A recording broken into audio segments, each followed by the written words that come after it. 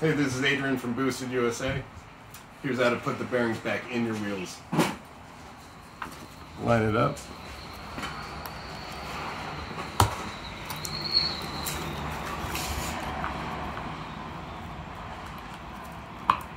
And it's just a regular skate tool, easy press, right back in.